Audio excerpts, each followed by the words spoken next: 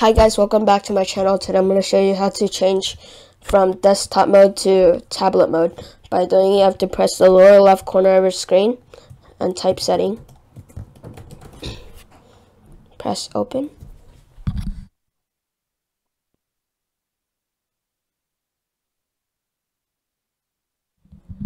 Um, and then next, type tablet mode.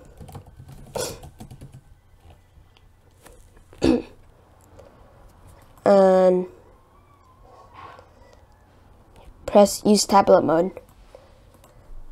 And then you just press tablet mode. And then you have to restart your computer and sign in. Once you sign in you get um, you're in tablet mode. Um, thanks for watching. If you haven't subscribed subscribe right now. Thank you